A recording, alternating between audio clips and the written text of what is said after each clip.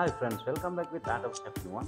Today I'm going to make one lamb recipe. It is uh, lamb bone chops. I have cut from the lamb backbone. It chops. I'm going to make braise it. Braised lamb bone chops. So we'll go to the recipe.